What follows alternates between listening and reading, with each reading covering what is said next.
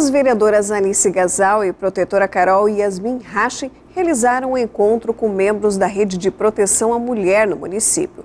Os representantes apresentaram às parlamentares dados do crescimento dos casos de violência doméstica e os desafios enfrentados para a realização de políticas públicas.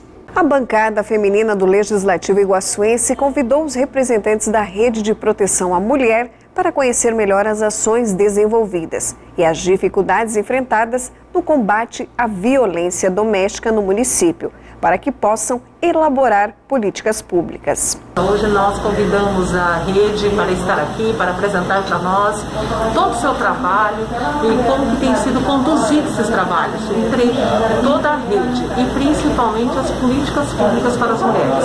E a Câmara de Vereadores, através da sua bancada, se coloca à disposição. Nós queremos somar esforços, nós podemos muito juntas e é isso que nós queremos. Nós queremos principalmente combater a violência contra a mulher não podemos mais aceitar nenhum tipo de violência, seja ela física, seja ela psicológica. Nós temos que dar um basta. E as mulheres têm que saber que nós temos uma rede preparada para atendê-las. E a Câmara de Vereadores, através da sua bancada feminina, se soma essa luta.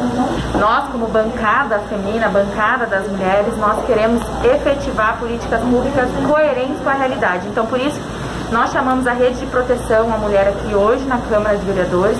E em uma reunião muito produtiva nós conhecemos todas as organizações que trabalham diante da proteção, né, a favor da mulher, a favor da proteção.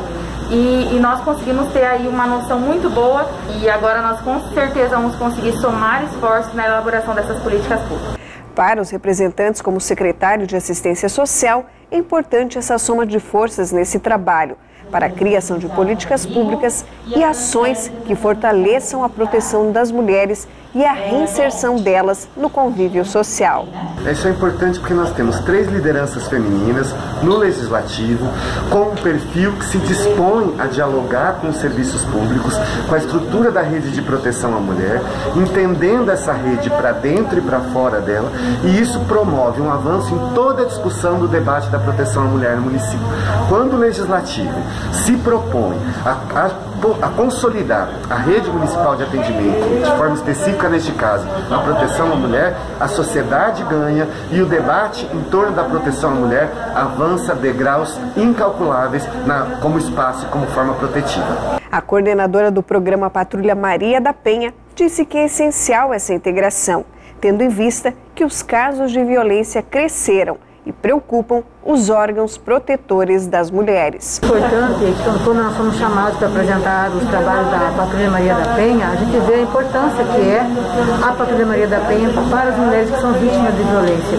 A rede de atendimento, ela, ela, ela é importante porque nós, estamos, nós somos um fluxo, nós somos ligados uns aos outros, nós temos que conhecer o trabalho de toda a rede é importante também que as vereadoras conheçam esse trabalho, porque assim elas vão poder trabalhar junto com a rede e entender essa dinâmica, esse mecanismo e vão poder dar um suporte para que a gente possa né, eh, ser ajudada por elas quando a gente precisar.